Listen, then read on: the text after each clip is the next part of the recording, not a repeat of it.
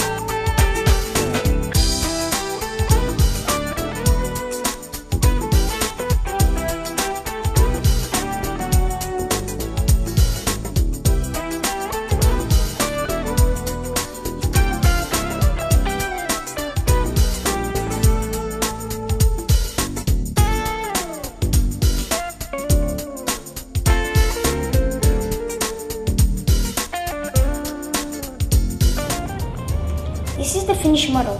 Hope you enjoyed this video and have a lot of fun with your paper F16 Thunderbird. Also, don't forget to visit fold3d.com for more great models like the Fold3D F22 Raptor and the F35C Lightning. Also, don't forget to subscribe and rate this video. I'm Thomas and thank you for watching.